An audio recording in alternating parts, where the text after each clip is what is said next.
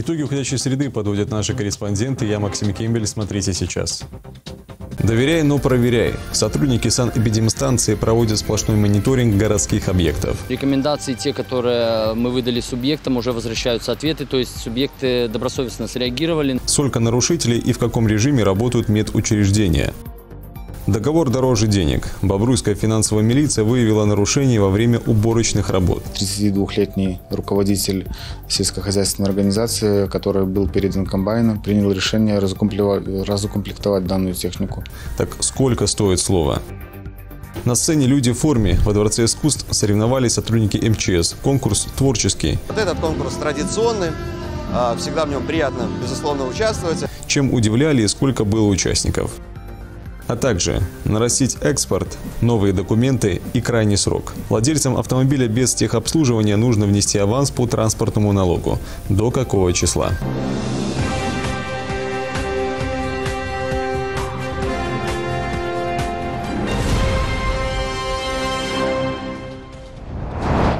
Минздрав Беларуси обновил статистику по COVID-19. За минувшие сутки зафиксировано 1993 пациента с положительным тестом на коронавирус.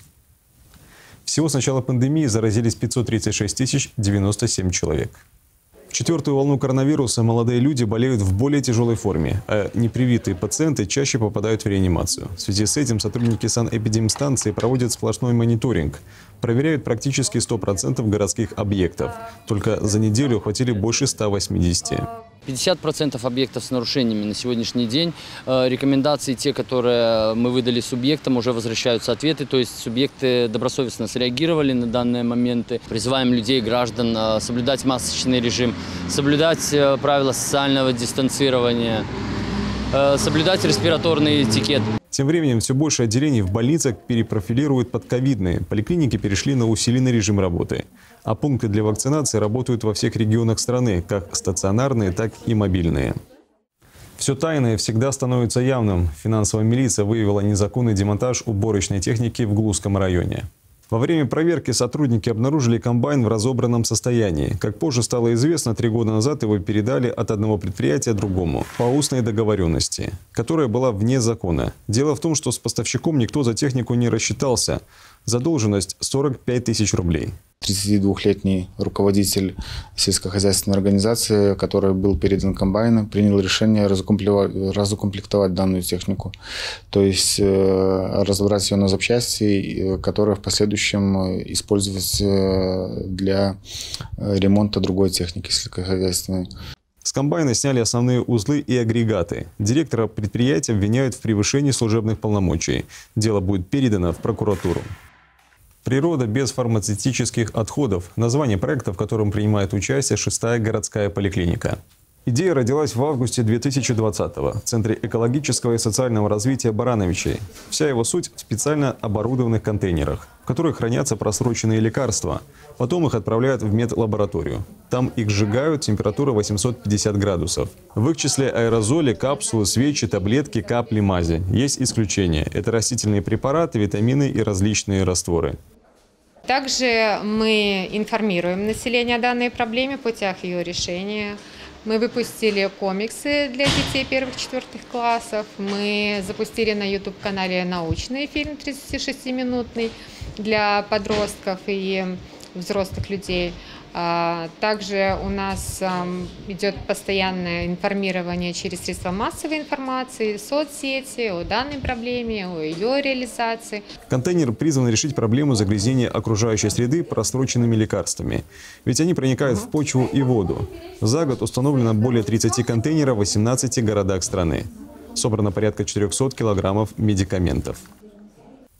Дефицита не будет, строительная сфера и холодная осень. Заморозки ожидаются ночью 30 сентября в Беларуси. Какой будет температура за окном? Громкие заголовки дня далее в специальном обзоре. В Беларуси стоит задача нарастить экспорт строительных услуг. Средний отрасль сейчас зарабатывает на внешнем контуре около 600 миллионов долларов. Но в 2015-2016 годах достигали отметки в 1 миллиард. Ресурсы и резервы, чтобы реализовать проекты на площадках наших соседей. По спросу на отечественных специалистов лидируют регионы Российской Федерации.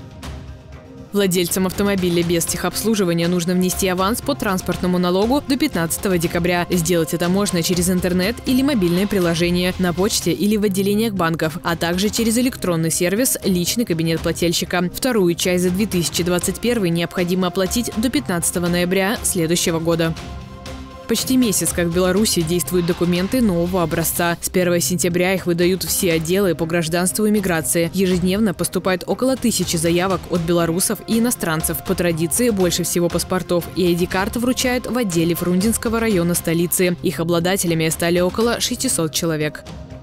Доля продукции аграрно-промышленного комплекса в экспорте страны около 17%. Такие цифры приводит Минсельхозпрод. Данные за 7 месяцев. За январь-июль белорусы заработали 3,5 миллиарда долларов. Но главное – обеспечить внутренний рынок. Например, ежедневное производство четырех белорусских сахарных заводов около 5 тысяч тонн. А значит, дефицита не будет. Продукции хватит на всех.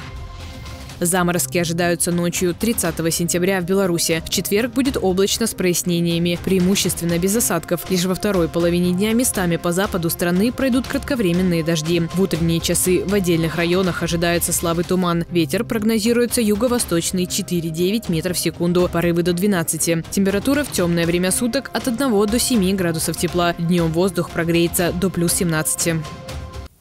Песня им жить и спасать помогает. В Бобруйске прошел смотр-конкурс художественного творчества сотрудников МЧС. На сцене Дворца искусств спасатели со всей Могилевской области. Бобруйск, Кличев, Кировск, Глузка, Сиповичи. Люди в форме не только пели, некоторые читали стихи, другие вовсе приехали семейными постановками. Лейтмотив фестиваля – год народного единства.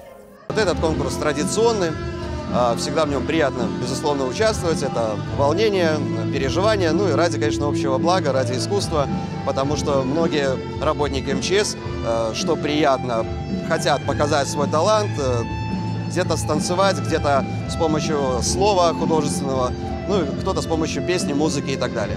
Бобручане выступили в четырех номинациях. По итогам отбора лучшие примут участие в областном этапе. Сухая Виктория Бобруйская Белшина в 24-м туре чемпионата страны по футболу среди команд первой лиги набрала очередные три очка.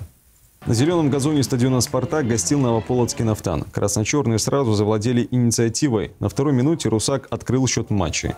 На 16-й хозяева удваивают свое преимущество, забивает Исаев. На 29-й ворота нефтяников был назначен пенальти. 11-метровый четко реализовал Васильев. Во втором тайме болельщики увидели еще один гол. Свою фамилию в протокол записал Чесноков. 4-0. Более чем уверенная победа шинников. Следующий соперник – Могилевский Днепр. Областное дерби пройдет в субботу 2 октября, начало 18.00. Это все и события к этой минуте. Смотрите нас в интернете и соцсетях. Мы в эфире каждый будний вечер. Счастливо.